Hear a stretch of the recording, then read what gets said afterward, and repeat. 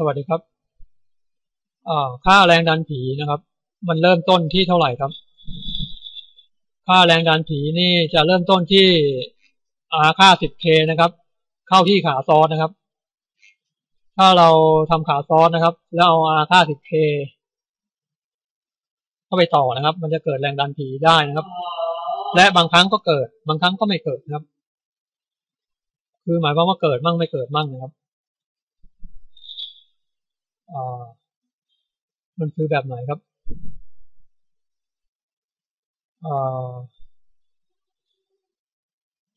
เราเขียนคำสั่งนะครับ การทดลองนะครับ เราจะเขียนคำสั่งนะครับ เราจะเขียนคำสั่งนะครับเนี่ยฮะ เขียนคำสั่งว่าถ้าให้เป็นลอจิกหนึ่งนะครับขาซอสก็คือ เดี๋ยวก่อนนะครับ เราก็ขาซอสนะครับ ขาซอสก็คือขาที่มันมี R pull-up ภายในนะครับ ถ้ามันมีอาพุนาภายในนะครับอย่างนี้นะครับ ที่ขานั้นนะครับอ่าสมมติผมใช้ขา28นะในการทดลองผมใช้ขา28ครับ มันจะมีค่าอาพุนาภายในนะครับ แล้วเราก็เขียนคำสั่งให้เป็น logic หนึ่งนะครับ เมื่อเขียนคำสั่งให้เป็น logic หนึ่งขานี้ก็จะเป็นอ่าขานี้ก็จะเป็นอ่า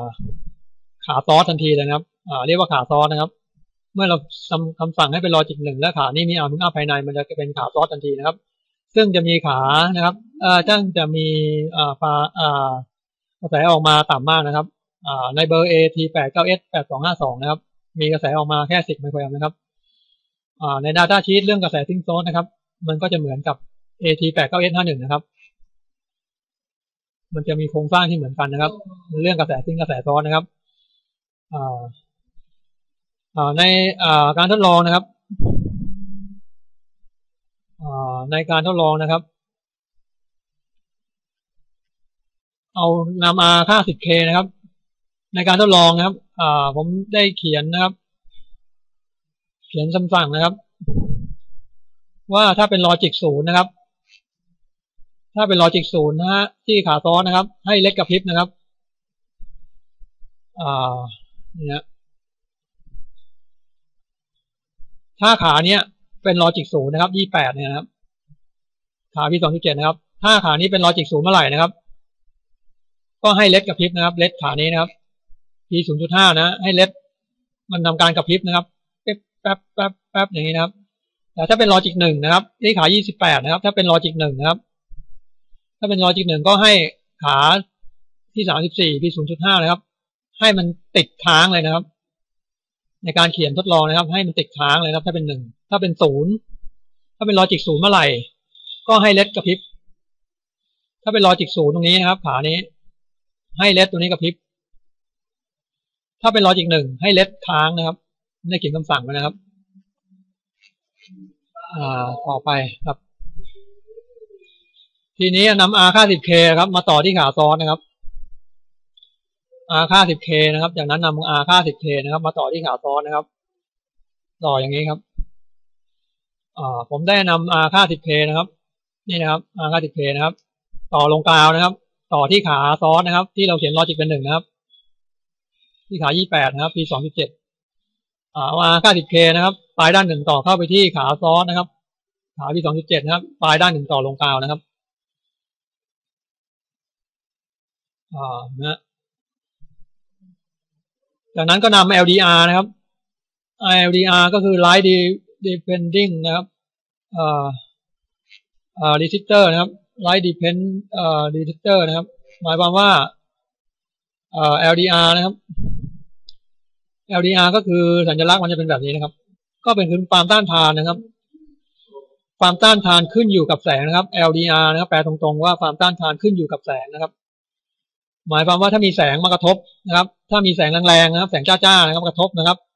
มันก็จะความต้านทานต่ำนะครับ อยู่ระดับโอห์มนะครับ มันขึ้นอยู่กับแสงนะครับ มันจะต่ำนะครับ เปรียบเสมือนตรงนี้ช็อตกันนะครับ อ่าแล้วต่อไว้อย่างนี้นะครับอ่า LDR เดี๋ยวต่ออ่าวิธีต่อก่อนนะครับอ่าขาด้านหนึ่งต่อเข้าไปที่ขาที่แปดนะครับอ่าขาอีกด้านหนึ่งต่อเข้าที่ไฟ VCC ห้าโวลต์นะครับอ่าอ่าต่ออย่างนี้ครับอ่าเสร็จแล้ว LDR อ่าต่อนะต่อเสร็จแล้วนะอย่างนี้ตามนี้นะครับ LDR นะครับ LDR คุณสมบัติของมันนะครับ เมื่อมันเจอแสงนะครับ มันจะความต้านทานต่ำนะครับ แค่โอห์มอแล้วแต่แสงนะครับ ยิ่งแสงแรงยิ่งความต้านทานต่ำนะครับ ผลก็คือไฟ VDC 5โวลต์ตรงนี้นะครับ ก็จะสามารถไหลเข้ามาตรงนี้ตรงๆได้นะครับ เมื่อไฟ VDC ไหลเข้ามาตรงๆขานี้ก็จะเป็น5โวลต์นะครับ28เป็น5โวลต์นะครับ ก็จะตัดสินใจไปรอจิกหนึ่งนะครับ แต่ถ้าเราเอาที่ครอบนะครับ ครอบปิดสนิทนะครับ ไม่ให้มีแสงเข้านะ เอาครอบลงไปเลยนะครับ ความต้านทานจะเป็นระดับเมกะโอห์มเลยนะครับ ถ้ามืดมากก็เปรียบเสมือนวงจรนี่ขาดออกจากกันเลยนะครับ ตัดขาดเลยนะครับ ตัดขาดออกไปเลยนะครับ หมายความว่าไฟไม่สามารถวิ่งเข้ามาได้อีกต่อไปนะครับอ่าและขานี้ต่อ R10K ลงกาวนะครับ เมื่อไฟลงวิ่งลงมาไม่ได้ ขานี้ R10K ลงกาวขานี้ก็จะเป็น logic ศูนย์นะครับ เมื่อเป็น logic ศูนย์มันก็จะทำให้ขานี้กระพริบนะครับอ่าในการทดลองนะครับ ได้ต่อแบบนี้นะครับ LED ก็ต่อไฟบวก อ่า ไม่ใช่ครับ ต้องมี I ตัวนะครับ อันนี้ผิดนะครับ เดี๋ยวก่อนอ่า ส่วน LED นะครับ LED นะครับ LED ก็ต่อเข้าไปอย่างนี้นะครับ ผ่านอ่าเอาไดโอดเอา LED นะครับ เอาแบบ ultra LED นะครับ ความสว่างเริ่มต้นอยู่ในช่วง 2 มิลลิแอมนะครับ ใช้งานนะครับ ช่วงใช้งานคือ 2 มิลลิแอมถึง 20 มิลลิแอมนะครับ ก็สว่างแล้วนะครับ ถ้า 2 มิลลิแอมก็สว่างแล้วนะครับ แต่ต้องใช้เป็นอุลตราเลดนะครับ มันจะกินกระแสน้อยแล้วจะสว่างนะครับตรงนี้ผมจำกัดกระแสไว้ 8 มิลลิแอมนะครับ มันก็จะสว่างจ้าแล้วนะครับ ถ้าเป็นอุลตราเลดนะครับ สว่างกว่าเลดธรรมดา 10 เท่านะครับอ่าก็ต่อลักษณะนี้ เสร็จแล้ว จากนั้นผมก็เอาที่ครอบนะครับ มาครอบที่ LDR นะครับ แล้วก็ต่อไฟนะครับ เอาที่ครอบนะครอบมาที่ LDR อย่างนี้นะครับ เสร็จแล้วผมก็ต่อไฟนะครับ VDC นะครับเอ่อในการทดลองเนี่ยต้องมีเงื่อนไขนะครับ ผมทำที่ VDC 5 โวลต์นะครับ แรงดันผีนะครับ แล้วก็คริสตัลที่ 12 เมกะเฮิรตนะครับ ต้องต่อแบบนี้นะครับ ต้องมีคริสตัลนะครับ ถ้าไม่งั้นจะไม่เกิดแรงดันผีนะครับคริสตัลนะครับ เป็นความถี่นะครับ มันจะ induce เมื่อลายวงจรชิดกันนะครับ ก็ทำให้เกิดแรงดันผีได้นะครับทีนี้ตรงไหนต่อวงจรนะครับผมก็เดี๋ยวนะผมก็เอาที่ครอบครอไว้ก่อนนะครับ ยังไม่ได้แล้วจากนั้นก็เสียบไฟนะครับ เอาไฟเข้ามาในตัวไมโครคอนโทรลเลอร์นะครับ เมื่อครอบไว้ฟังมันก็เปรียบเสมือนขาดออกจากกันนะครับ อันนี้ขานี้ก็จะเป็นกราวนะครับขานี้ก็จะเป็นกราวนะขายี่แปดเลดก็จะทำการกระพริบนะครับ จากนั้นผมก็ถอดเอาที่ครอบออกนะครับ พอเข้าที่เอาที่ครอบออกเปรียบเสมือนช็อตกันนะครับ เจอแสงนะครับ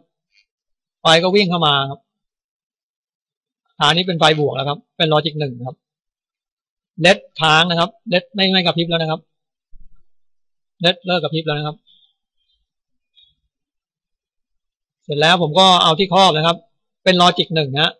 เจอ logic หนึ่งก็ต้องให้ไฟค้างนะครับตามที่เราเขียนไว้นะครับ จากนั้นผมเอาที่ครอบครอบกลับไปใหม่นะครับพอครอบเข้าไปครั้งนี้เอ่อก็คือเอ่อพอครอบไปครั้งนี้นะครับ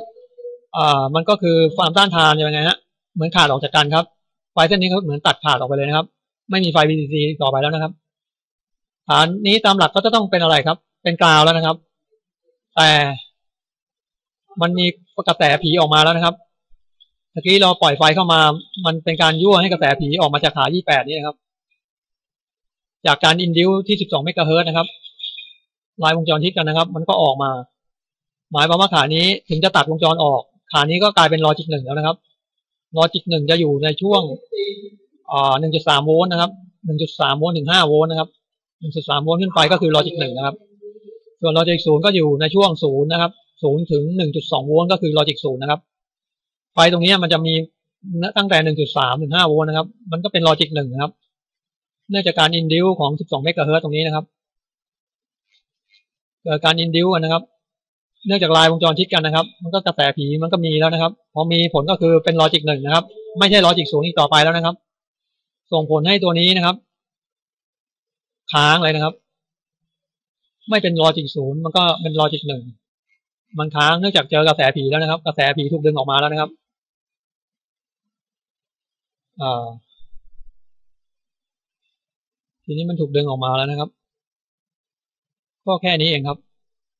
แต่ผมได้ลองใช้นะครับ ผมได้เปลี่ยน R ตรงนี้ 10K นะครับ เปลี่ยนเป็น 3K นะครับ เปลี่ยนเป็น 3K ปรากฏว่ากระแสผีนี่ออกมาไม่ได้นะครับ เพราะมันดึงในนี่ดึงนะครับ ดึงที่ที่ความแรง 3K นะครับ ดึงมากขึ้นนะครับทำให้กระแสผีไม่มีนะครับ กระแสผีก็ต้องหายไปแล้วนะครับ เมื่อเราใช้ตัวดึงค่าโอห์มที่ต่ำลงนะครับ ระดับ 3K นี่ก็ร้อยเปอร์เซ็นต์แล้วนะครับอ่าลืมบอกไปนะครับอ่าส่วนขานี้ก็ใช้ 10K ใช่ไหมครับ ไม่เกี่ยวข้องนะครับ อันนี้ อันนี้มันไม่ใช่ขาขาซ้อนนะครับ มันเป็นขารีเซ็ตนะครับ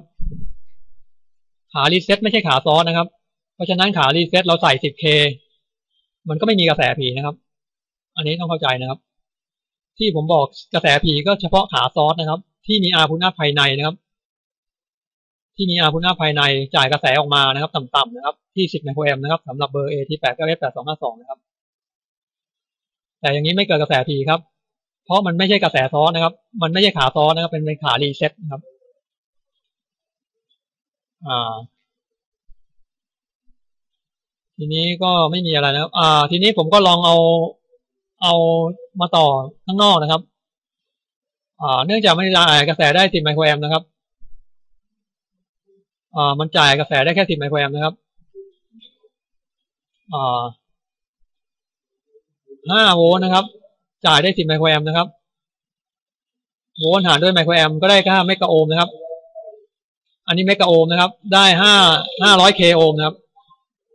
ผมก็อ่า R R ภายในตัวนี้นะครับ ก็จะมีค่าห้าร้อย K ครับ เพราะมันจ่ายกระแสได้สิบไมโครแอมป์เมื่อเราเอากระแสซอสลงกาวนะครับ ตรงๆนะครับ ไม่ต้องผ่าน R ช็อตตรงๆนะครับ มันจะได้สิบไมโครแอมป์นะครับ เพราะฉะนั้นมันก็มีห้าร้อย K นะครับ ผมก็ทำการลองนะครับ เอา R ห้าร้อยเคนะครับ ต่อจาก VDC นะครับ R ห้าร้อยเคอย่างนี้นะครับ ต่อจาก VDC ขาหนึ่งนะครับ อีกขาหนึ่งก็ไปต่อ R ห้าร้อยเคแล้วก็จำลองนะครับเอา R สิบเคต่อนุกรมกันนะครับ R ห้าร้อยเคหนึ่งตัวนะครับ แล้วก็ต่อนุกรมด้วย R สิบเคนะครับไฟ R สิบเคลงกลาวนะครับทำเหมือนอย่างนี้เลยนะครับ คือไฟ VDC ผ่าน R ห้าร้อยเคอ่าเอางี้นะครับไฟ VDC ห้าโวลต์นะครับ ผ่าน R ห้าร้อยเคภายในตัวนี้นะครับ แล้วกองน้ำผ่านภายในห้าร้อยเคนะครับ แล้วก็มาอนุกรมกันอย่างนี้นะครับ ต่อเรียนแบบเลยนะครับ แต่มาต่อจากจุดนี้นะครับ ข้างนอก ปรากฏว่าอ่าไม่เกิดกระแสผีนะครับ เนื่องจากไม่มีลายวงจรชิดติดกันนะครับ ในนี้จะมีลายวงจรชิดติดกันจะเกิดนะครับ แต่มาต่ออย่างนี้ข้างนอกไม่เกิดนะครับ เพราะลายวงจรไม่ชิดติดกันแล้วนะครับ จะได้จะได้เท่าไหร่ครับ ที่ 500K ได้แรงดันตกคร่อม 4.9 โวลต์นะครับส่วนที่ 10K จะได้แรงดันตกคร่อม 0.098 ครับ 0.098 นี่ก็คือลอจิกศูนย์นะครับ